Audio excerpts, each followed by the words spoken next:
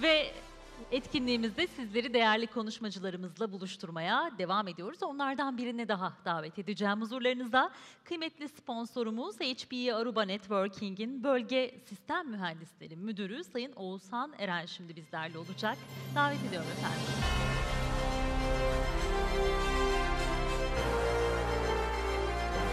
Hoş geldiniz. Hoş bulduk. Nasılsınız? Sağ olun, çok teşekkür Ben teşekkür ediyorum. Buna ihtiyacınız olacak. Evet, teşekkürler, sağ olun. Merhabalar, selamlar herkese. İsmim Oğuzhan Eren. Ee, Aruba Türkiye ve Çevre Bölgeler Sistem Mühendisleri Yöneticisi olarak çalışıyorum. Şimdi e, bugünkü etkinlik için tüm katılımcılara, herkese teşekkür ederim öncelikle. E, finans teknolojileri konuşuyoruz, evet. Ama tabii bu finans teknolojilerine giden yolda şunu söylememiz lazım ki güvenlik, e, iletişim sistemlerinin güvenliği gerçekten hayati, çok kritik.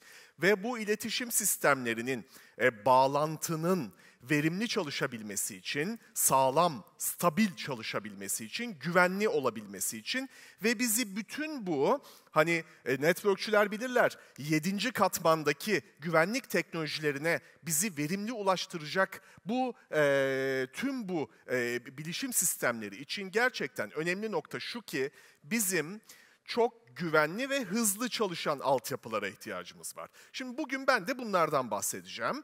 Ee, günümüzde gerçekten teknolojiye ulaşımın nasıl olduğu çok kritik. 5G konuşuyoruz, Wi-Fi teknolojilerini konuşuyoruz. Bunların nasıl güvenli olacağını konuşuyoruz. Bunlar gerçekten çok kritik. Bunların verimli çalışması lazım ki arka planda zaman hassasiyeti olan bütün e, sistemlere verimli ve hızlı bir şekilde ulaşalım. Şimdi mesela bu konularda HP Aruba Networking cephesinde networking, secure networking, yapay zeka destekli secure networking tarafında ne gibi yenilikler var? Hemen bana ayrılan sürede hızlıca 15 dakika içinde size anlatacağım. Şimdi e, güvenli bağlantı dünyasında hakikaten önemli bir nokta var. E, Wi-Fi 7. Wi-Fi 7 teknolojisi hayatımıza girdi. Bu bütün hayatımızdaki her şeyin, bağlantılarımızın çok daha hızlı, çok daha güvenli olmasını şart koşan bir teknoloji. Şimdi Wi-Fi 7 ile birlikte artık aynı anda birden çok frekansa bağlanabilir olduk. Biraz işin RF tarafından da bahsedeceğim. Wi-Fi tarafından da bahsedeceğim. E, normalde biz 2.4 GHz ve 5 GHz e, ve şimdi yakın zamanda devreye alınan 6 GHz frekanslarını e, biliyorduk. Hep bu frekanslardan haberleşiyorduk. Ama aynı anda tek bir frekansla haberleşebiliyorduk. Burada teknoloji dünyasında devrim sayılabilecek bir haber geldi ve artık Wi-Fi 7 ile birlikte yeni bir teknoloji ortaya çıktı. Bu sadece HP, Aruba'da değil bütün üreticilerde var. Ama ama bilerek bu tip standartlarda boşluklar bırakıyorlar ki her üreticinin yoğurt yiyişi farklı olsun diye. E, üreticiler de kendi mühendislik e, e, ekiplerine göre yeni icatlar ortaya çıkartıyorlar ve kendilerini ön plana atacak ARGE faaliyetleri yürütüyorlar. Burada MLO sayesinde Wi-Fi 7 dünyasında artık cep telefonlarımız aynı anda birden çok frekansa bağlanabiliyor. Bir yandan download, bir yandan upload aynı anda yapabiliyor. Bunlar önemli, çok çok e, bağlantı verimliliğimizi arttıran şeyler ve bu sayede çok daha hızlı, çok daha reliable, verimli bir şekilde paket kayıplarını en aza indirecek şekilde bağlantı mümkün oluyor.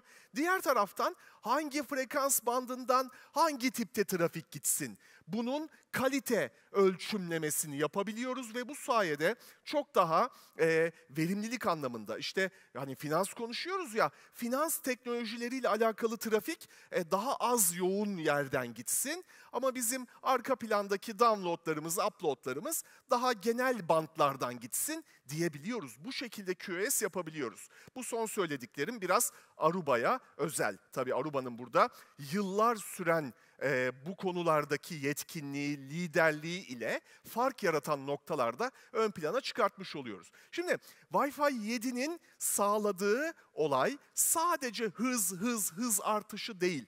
Biliyorsunuz birazcık bu konularda hep hızdan bahsedilir. İşte Wi-Fi'nin yeni versiyonu geldi, hızlandık. 5G geldi, hızlandık. 6G gelecek, hızlanacağız. Sadece konu bu değil.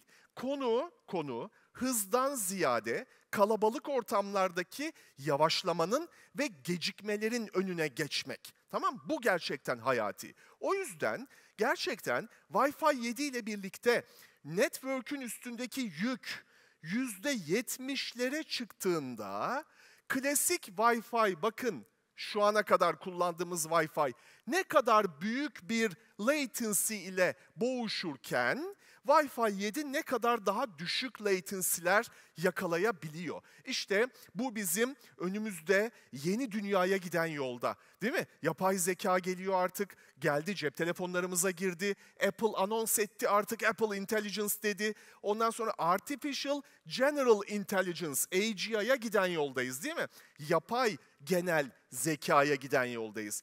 Bunların hepsi bir yandan edge computing, bir yandan hibrit ile çalışacak. Yani bazı işlemler cep telefonunuzun kendi üstünde ya da cihazların kendi üstünde yapılacak ama bazı işlemler için cep telefonlarımızın CPU'larında bu işi yapmak çok verimli olmayacağı için hızlı bağlantılara ihtiyacımız olacak ki hemen onları e, bulut sunucularında yapalım ve hızlıca çıktığı geri alabilelim. Şimdi yapay zeka işlemleri için bütün bu konuştuğumuz internetle, bilgiyle haşır neşir olabilmek için bizim sadece ev networklerinde değil, en kalabalık, en yoğun yerlerde bile en düşük latency, en düşük gecikmelerle çalışabiliyor olmamız gerekiyor. İşte bağlantı teknolojileri bu yüzden önemli. Sadece bağlantı deyip geçmeyelim. İşin tabii ki security tarafı da var. Güvenli olacak, her kullanıcı tek tek güvenlik altına alınacak ve verimli bir şekilde çalışacak. Tabii Aruba'nın Hewlett Packard Enterprise, HPE Aruba Networking'in buradaki bağlantı opsiyonları sadece Wi-Fi ile sınırlı kalmıyor ya da sadece data center teknolojileriyle, bulut mimarileriyle sınırlı kalmıyor. Ya da sadece işte efendime söyleyeyim e, switching teknolojileriyle sınırlı kalmıyor. Private 5G diye bir şey var değil mi? Bu da çok e, yabancıların deyimiyle hot topic. Yani gerçekten üstünde çalışmamız gereken büyük e, next big thing'lerden bir tanesi. Öyle söyleyebilirim. Yani gerçekten Aruba Private 5G sayesinde, HP Aruba Networking Private 5G sayesinde artık çok çok çok kritik networklerinizde başkasıyla spektrum paylaşmak istemediğiniz, kendinize özel spektrum istediğiniz networklerde kendi özel 5G network'ünüzü kurabiliyorsunuz. Abonelerinize kendiniz kendi alanınız için SIM kart dağıtabiliyorsunuz. Kendiniz bir cep telefonu operatörü olabiliyorsunuz. Peki hangi frekansta? Şu an BTK ile görüşmelerimizi devam ettiriyoruz. BTK umut ediyorum ki hep beraber sektörce umut ediyoruz ki BTK bize bunun için Avrupa'da ve Amerika'da olduğu gibi bir frekans bandı tanımlayacak. Oradan tüm Türkiye'de Private 5G çalıştıracağız. Sadece biz değil, Private 5G yapmak isteyen herkes. Ama Aruba bu tarafta altyapısını hazırladı ve diğer birçok ülkede bunu hizmete sundu bile. E diğer yandan gerçekten de e, bunu e, operatörlerden frekans kiralayıp da yapmak mümkün. Bu da gerçekten oldukça hayati bir teknoloji. E, diğer yandan e, güvenlik çok önemli demiştik. Güvenlik işin içinde firewall, Layer 4, Layer 7 yani uygulamaları bile tanıyabilen bir firewall'a ihtiyaç duymamızı gerektiriyor. Güvenlik bu anlamda çok çok kritik. Aruba altyapısında güvenlik var, güvenlik gömülü, işin içine gömülü. Herhangi bir kullanıcı Aruba altyapısında ister 5G'den gelsin ister Wi-Fi'den, ister data center'da olsun ister kampüs switch'te olsun. Nereden kullanıcılar bağlanırsa bağlansın, kullanıcılar grup bazlı değil, kullanıcı bazlı. Tek tek firewall'lanabiliyorlar. Güvenlikten geçip içeri girdik, hepimiz içerideyiz, serbestçe kavga edebiliriz anlamına gelmiyor. Aruba altyapısında bir grup kullanıcının hepsinin başına birer güvenlik görevlisi dikiyoruz. Kullanıcılar kendi aralarında haberleşirken bile buna biz doğu batı trafiği diyoruz. Yataydaki trafikte, doğu batı trafiğinde bile kullanıcılar güvenlik altına alınıyor. Bakın bağlantı hızlı, stabil, verimli olmalı. En önemlisi de güvenli olmalı. Bunlar gerçekten hayati. Bu sayede havada önceliklendirme yapabiliyoruz. Uçtan uca kriptolama yapıyoruz. Bunlar gerçekten çok kritik. Bu şekilde tüm kullanıcılar ayrı rollere alınabiliyorlar.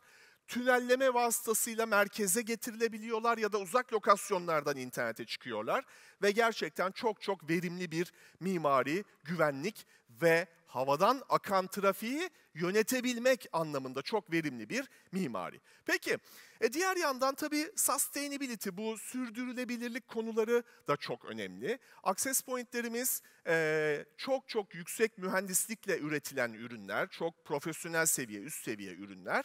Bunlar tabii ki evlerimizde kullandığımız access pointlerle pek bir alakası yok. Bunlar profesyonel, yani işte Fenerbahçe stadında kullandığımız bir tane access point'e yüzlerce kişinin bağlanabildiği çok sofistike cihazlar. Bunların arkasındaki switchler keza öyle. Bu cihazlar bir yandan e, çalışırken 20-30 wattlar çekerken otomatik olarak çalışmadıkları ve kendilerine ihtiyaç olmadığını anladıklarında 20-30 watt tüketimlerini 1 watt'a kadar düşürebilen cihazlar. Bunu yapay zeka yardımıyla kullanım paternlerini çıkartarak yapıyorlar. Yani kullanım olmadığı durumda ortamdaki yüzlerce access point'ten belki bir iki tanesi sırf kapsama alanı vermek için açık duruyor. Diğerleri kendilerinin güç tüketimlerini 20-30 wattlardan hatta bazı modellerde 40-50 wattlardan 1 wattlara kadar indirebiliyor. Bu gerçekten hesapladığınız zaman yüz binlerce duruma göre TL'lik ya da dolarlık e, saving, tasarruf sağlıyor gerçekten networklerde. Bu da Aruba'nın yeşil AP konsepti, Green AP konsepti. Diğer yandan çok popüler e, ürünlerimizden de bir tanesi bu vendor agnostik yani herhangi bir üreticiye bağımlı bir teknoloji değil. Onu öncesinde söyleyeyim. Aruba'nın şöyle de bir ürünü var. Bu da gerçekten çok güzel çalışan, çok sevilen bir ürünümüz. UXI, Aruba User Experience Insight. Aruba User Experience Insight ne demek? Şu. Şimdi networklerimizde herkes bağlanıyor buradaki Wi-Fi'ye ya da 5G'ye vesaire. Aruba'nın olduğu yerde bağlantılar hızlı çalışıyor, şahane çalışıyor ama ama ama bütün verimlilik kullanıcının tecrübesi sadece Aruba'nın access pointleri switchlerinden ibaret değil ki. Arka planda gitmeye çalıştığınız sunucuda bir problem olabilir. Arka planda size IP dağıtan DSCP e, server'da problem olabilir. DNS sunucularınızda problem olabilir. Aruba'nın HPE Aruba Networking'in koyduğu, konumlandırdığı çözümün dışında bazı sebeplerden dolayı yavaşlık yaşanabilir. Şimdi kullanıcının tecrübesini ölçmemiz gerekiyor. Burada her şey yolunda mı? AP'den ya da bambaşka sebeplerden fark etmez. Kullanıcı mutlu mu değil mi? Ben bunu ölçmek istiyorum. Buraya ne yapmam lazım? Bir, personel koymam lazım.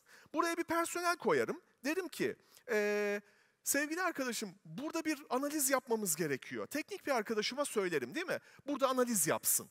Kendisi burada analiz yapar ve der ki, ya Wi-Fi güzel çalışıyor ama IP alırken zorlanıyorum. Ya da DNS'ten cevap alırken zorlanıyorum vesaire. Ya da sayfalar geç açılıyor diyebilir değil mi? Şimdi işte biz Aruba UXI diye bir çözüm ortaya çıkarttık. Aruba UXI işte bu. Ofislerinizde konumlandırıyorsunuz tavana değil de duvarlara. Ve bu cihaz bir istemci gibi davranıyor, cep telefonu gibi davranıyor, client gibi, istemci gibi davranıyor ve ortamın Wi-Fi'ine bağlanıyor. İsterseniz kabloyla switch'e de bağlanıyor. 7 gün 24 saat aralıksız test yapıyor. Sürekli test yapıyor. Bu testler sayesinde her şey düzgün çalışıyor mu? Her şey e, istediğimiz hızda ve performansta çalışıyor mu? Web sayfaları hızlı açılıyor mu? Bütün bunların analizini yapıyor. Ve bu sayede ortamda bir gariplik varsa hemen gerekli logları ve kanıtları topluyor.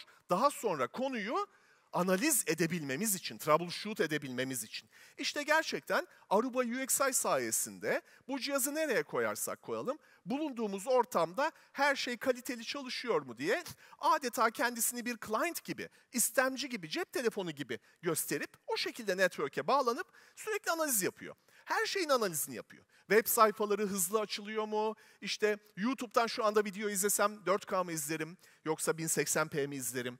Şu an bir VoIP telefon Teams görüşmesi yapsam kaliteli mi olur? Kalite kaç üzerinden yani 10 üzerinden kaç olur? Bütün bu analizleri yapabiliyor bu cihaz. IP alma süresi vesaire. Böylelikle Wi-Fi'ın işte o şu ayarını bu ayarını bırakın. Kullanıcılarımız memnun mu değil mi? Keyifleri yerinde mi değil mi? Her şey tıkır tıkır çalışıyor mu değil mi? Bunu görüyoruz Aruba UXI sayesinde.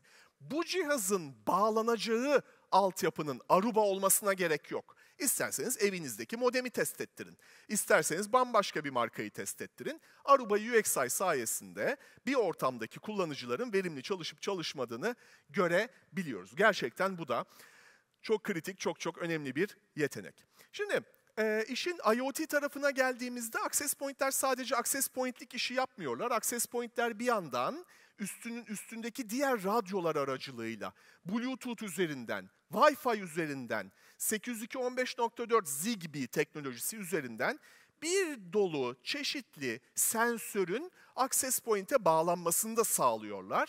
Bu, bu access point'in üzerine USB'den dongle'lar takılarak ekstra frekans bantlarına erişim sağlanabiliyor ve gerçekten bunlar çok çok önemli yenilikler demek tüm teknoloji ekosistemi için.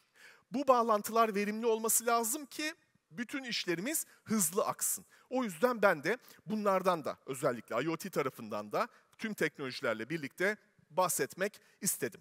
Şimdi Aruba tarafının yeniliklerinden bahsettik. Aruba tarafında networking, secure networking, yapay zeka net, destekli networking tarafında ne, ne gibi teknolojiler var? Bunlardan bahsettik. Süren biraz kısaydı, uymaya çalıştım. Bunlardan bugün bahsetmiş olduk. Umarım faydalı olmuştur. Beni dinlediğiniz için çok teşekkür ediyorum. Çok sağ olun.